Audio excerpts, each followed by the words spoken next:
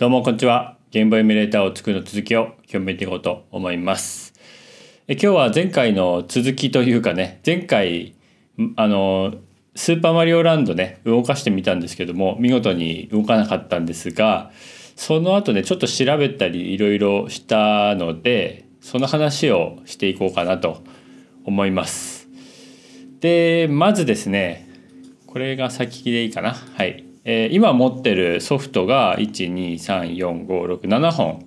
7本あります。1234567本ね。はい。でドラクエモンスターズカエルのために金はなるスーパーマリオランドっていうのこの6つの金貨ポケモン緑、えーとスーパーマリオランド遊戯王とゼルダの伝説の夢を見る島ですね。でそれぞれあの最初のカートリッジ読み込み時に出るえーっと値。これなんだっけ？えーとマッパーと、えーラムのサイズとマッパーと、えー、49マッパーロムサイズラムサイズですねマッパーとロムサイズラムサイズをそれぞれ出してきました。はい、で前回は一部しか出てなかったんですけど、えっと、スーパーマリオランド以外は全部03なので03を実装03のね MBC3 だと思うんだけど MBC3 っていう、まあ、マッパーを実装してあげればとりあえずまああのカートリッジ読み込み時に落ちることはなくなるので、えーまあなんとかなんとかなるっていうか、まあ、どうなるかっていうのを見れるんじゃないかというのが一つ。であと「スーパーマリオランド」はローンチタイトルなんですね。で、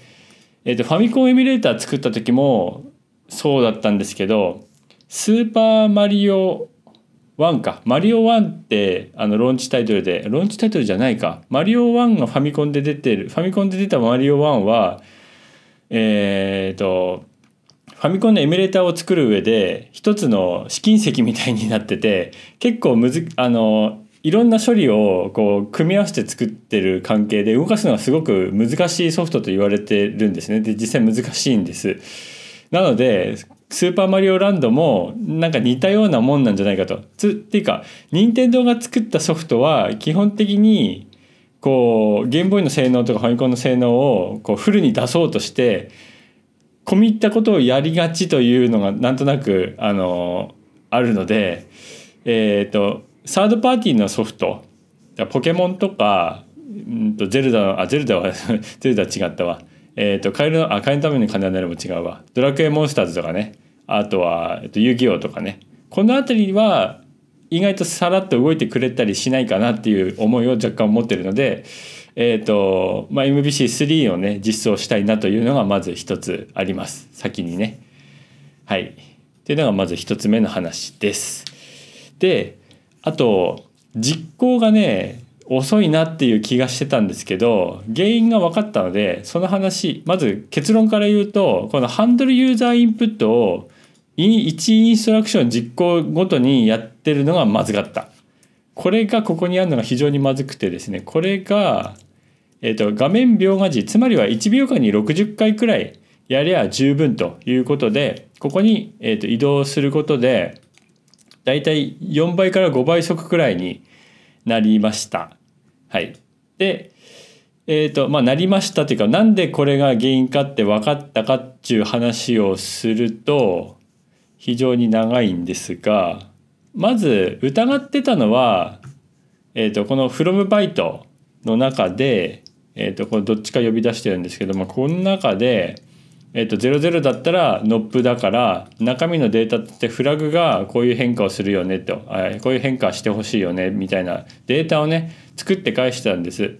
で、えー、とロードだったらこれは BCD6D16 の命令で、えー、とフラグの変更は全部変更しないよみたいなねこういうデータを毎回毎回作って返してたんでこれを作る処理っていうのが結構重いんじゃないかというふうに想像してたんで、えーとまあ、この辺りに音これ呼び出してるとこね from バイト。この辺りで計測してみてどうなるかっつうのを見てみたんですが、まあ、そんなに遅くないっていうことが分かってですねえー、とこう計測範囲をだんだんだんだんこう広げてったところそもそもこのステップの中にはないぞというのが分かりもうちょっと広げてじゃあここら辺で見てったらあこいつじゃないかというのが分かったというような形ですね。でどうやって調べたかっていうとあとラストにはすごい便利な命令があってえー、っとここでやりゃいいかな。レッドタイマーイコールインスタントっていうねやつがあってこれで Now っていうのが取れ Now っていうので今の実行時間が取れる今の時間が取れるんですね。でこいつのすごいのはここで、えーと、エラプスド、えー、アズアズマイクロスとかナノスとかねえーと、と今回はナノス。ナノ秒単位で取りますけどこれやると作られた時間からここまでの時間っていうのを取れ取ることができるんでプリント ln で。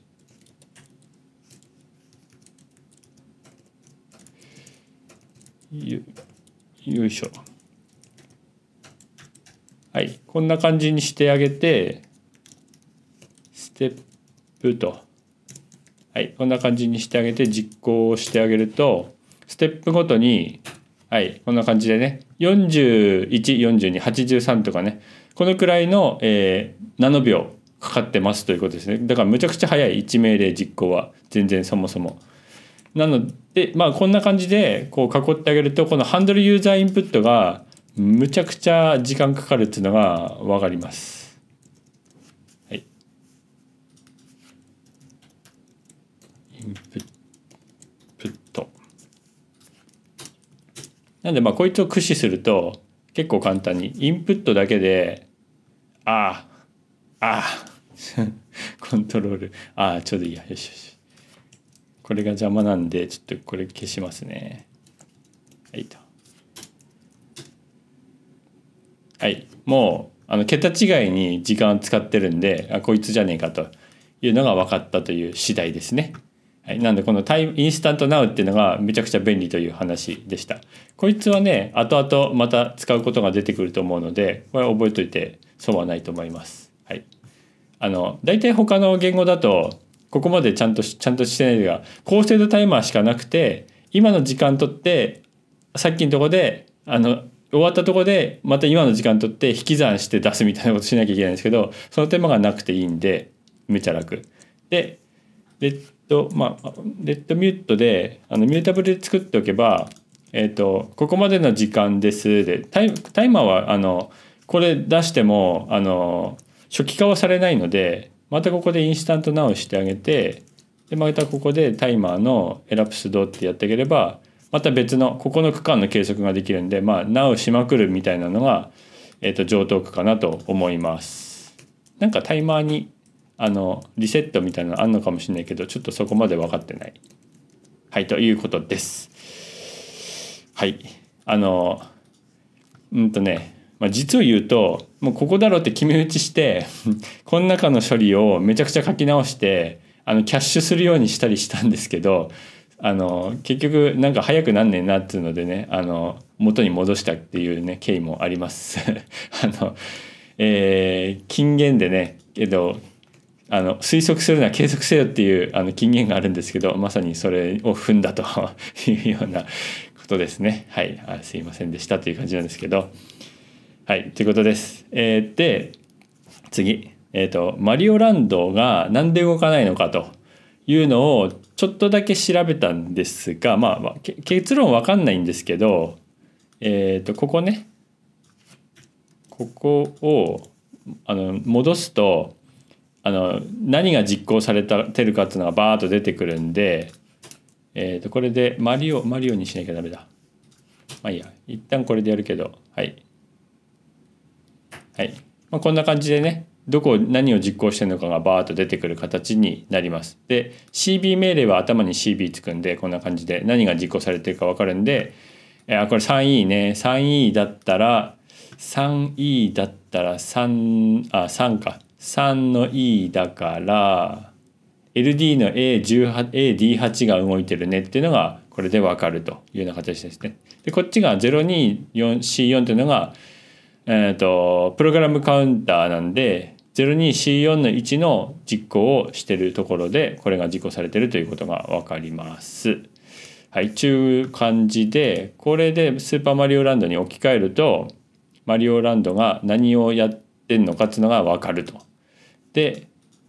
まあなんか原因わかるかなと思ったんですが、まあ、結論何もわかんないんで一旦ちょっとやってみますね。はい。スーパーマリオランドです。実行かけると画面真っ白でこの後何も進まないというような状態がずっと続きます。はい。あなんかちょこちょこ違うのが来てんのかな。基本ねこの FBD01QFBD をこの3つの命令をずっと繰り返してる状態なんですね。でここね。ずっと繰り返してる。で20は20は20は JR だからえっ、ー、とノンゼロなんでえっ、ー、と R8R8 R8 ってなんだっけ？R8 は、えっと、サインドデータですね。サインドデータがノンゼロだったら、えっ、とジャンプするジャンプするってことかな？みたいなことなんですけど、まあ、ここが動いてると。だからここのジャンプ命令が多分うまくいくと別のところに行ってくれんじゃないかなと思うんですけど、まあ、それがならなってないっていうような状態かなという気がしてます。で F0 っていうのが F0 ここなんで LDH で、えーと、A8 の値を A に A8 のインダイレクトの値を A に入れてるんで、まあ、ここで指定されてる A8 は A8 はアンサインドデータ FF00 の値のところの値を、えーと A に入れてるというようなことをやってます。だからここのデータで A に入れて、まあ、この辺で比較をしてんじゃないかなと思いますね。で FE でこれ完全にね CP の D8 をしてて CP はなんかサブ引き算する命令っぽいんですけども忘れちゃったんだけどね 引き算をする命令でえっ、とままあまあよくわからんのですけど、まあ、ここの命令この3命令をずっと繰り返してて、まあ、変化がないと。いうような状態でだからこれを繰り返してるんでえっ、ー、と FF なんたかだからなんかタイマーとかその辺の動きをこう監視して何かが起きたら別のとこ行くみたいなことになってんじゃないかなという気がしてるんですがちょっとよく分かんないっていう状態です。はい、でついでに言うとこれ後ろにね FE とかは、えっ、ー、と、これ2バイト命令なんで CP この D8 の値が何かっつうのが分かんないと実際何してるか分かんないんでこの後ろにね D8 の値を出すみたいなことも結構簡単にできるんで、えー、とやってみようかな。コロン 02x0x で instruction byte の後に self の read next。あれ？なんだっけ？ self の self の read next byte で次のバイトが取れるんでこれを呼んであげれば 0x じゃないや。ああ違う間違った。0x ね、はい、こんな感じにしてあげれば次の命令あこんな感じでね。はい、出てくれるのでいい感じかなと思います。まあ読んでるデータも全く一緒なので特に変化はしてないという感じなのでやっぱりこの F0 かな？F0 でこれ呼び出しててえっ、ー、と 0x44 だから FF44 の場所を見て何か処理をしてると。待って FF44 ってなんだ？あなんか分かってきたぞ。これあこれ MBC ね。ちょっと開いてたんだったわ。MBC3 をちょっと実装したいんですけど FF44 は FF44 4 4あ LCD のなんかだわ。FF44 はあら FF4LY だ。LY の値を見てますね。LY の値がなんかになったら飛ぶみたいなことを多分やってるっぽいけど ly の値だったらうまく動いてくれてそうな気もしなくもないんだけどまあ動いてないという状態ですね。はい。というとこまで分かってるのでまあなんか進展があればというかまあいろいろ実装していく中で分かれてくると思います。でまあそもそもこの「スーパーマリオランド」を一発目で動かそうっていうのがまず無理があるのであのテストローム的なのはねまあ他にもいっぱいあるんでそいつらを実行して、まあ、なんか原因探っていこうかなというところです。はい。はいということでえっ、ー、と MBC3 ですね。MBC3 の方をちょっと見ていこうと思います。でこれはちょっと開いてきてるので、えー、といらないやつ消していこうか。はい。あと MBC さんはね、はい、これ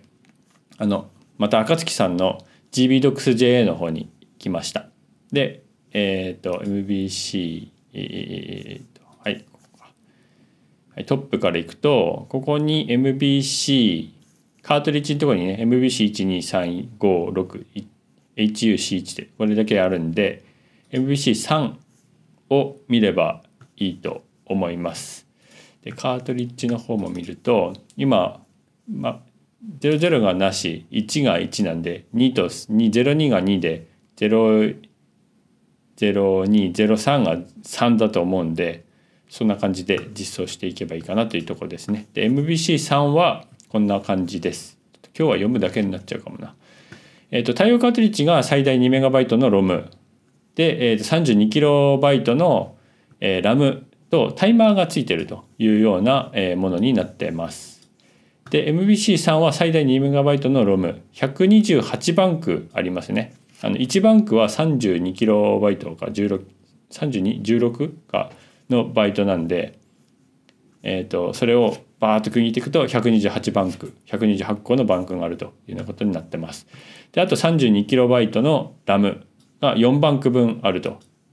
4バンク分があるということでこいつも切り替えになっているというような形に2つ ROM と RAM の切り替えが必要ということですね。でこいつが厄介でちょっとまだ全部読んでないから分かんないんだけど、えーとリアルタイムクロックっていうのが入ってて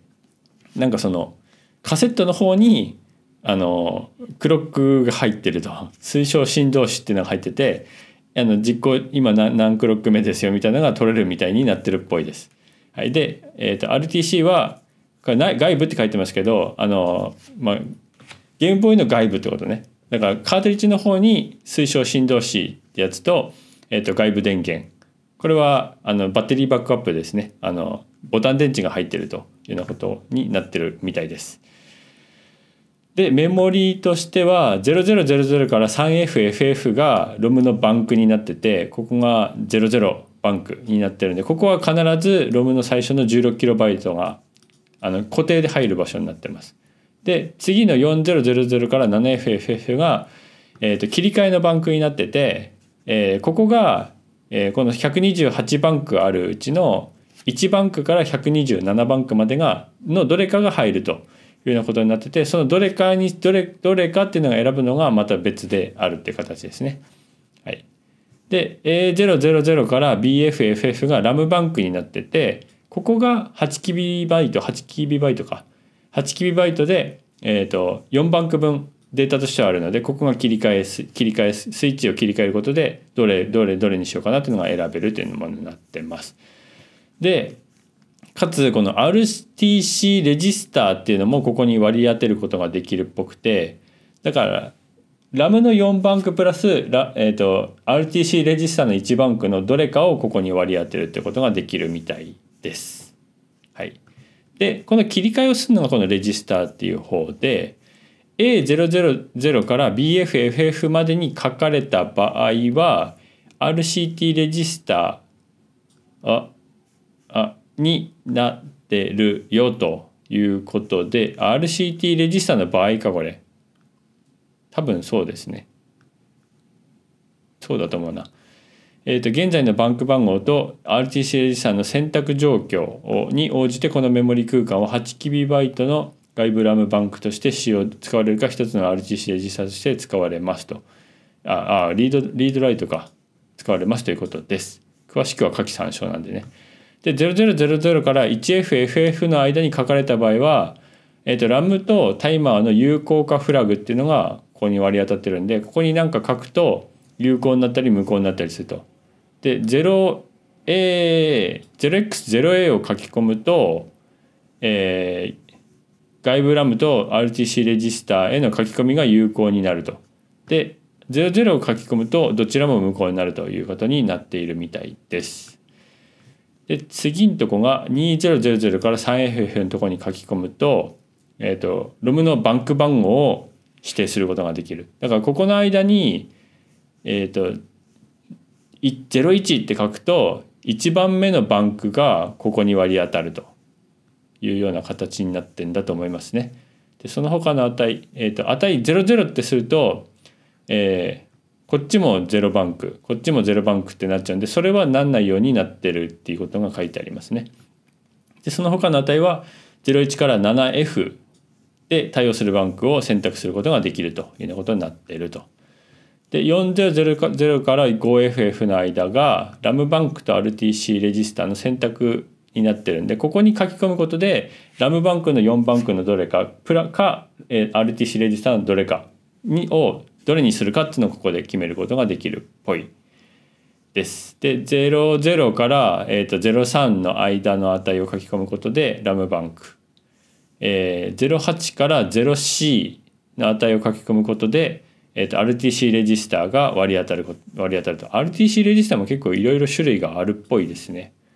こんだけあるんだからね84つ ?89ABC5 個か。はい。を指定することができるということです。で600から、えー、7FFF までの間に書き込むと,、えーと、ラッチクロックデータってやつになってて、えーと、現在の時刻が RTC レジスタにラッチされますということっぽいです。ちょっと何言ってるか保存されるってことなのかな。